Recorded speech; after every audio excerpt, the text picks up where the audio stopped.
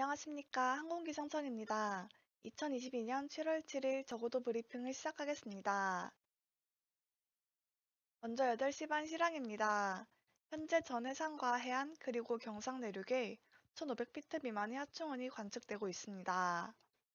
시정은 남해상과 남해안에 해무로 인하여 5km 미만이 관측되고 있습니다.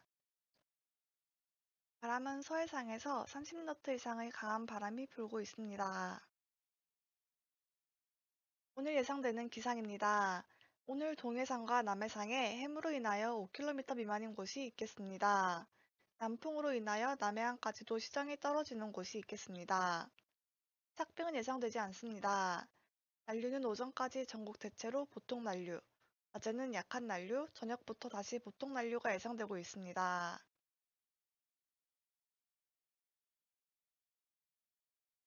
다음은 강수 예상입니다. 오늘 경기 북부 서부와 충남 북부는 오전부터 그 밖의 중부지방과 전라권, 경북 북부 내륙, 제주도는 낮부터 비가 오겠습니다.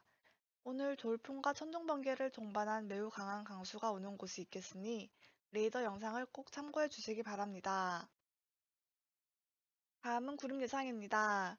전국적으로 3,000피트에서 5,000피트 내외의 구름으로 흐리겠고 동해안과 남해안에는 1,500피트 미만의 낮은 구름이 관측되는 곳이 있겠습니다. 오늘 위험 기상은 강풍으로 예상됩니다. 오늘 저녁까지 서해상에서 거스트 30노트 이상의 강한 바람이 불겠고 동해상에는 오후부터 내일 아침까지 강한 바람이 부는 곳이 있겠습니다. 이상으로 7월 7일 적어도 브리핑을 마치겠습니다. 오늘도 안전운항하시길 바랍니다. 감사합니다.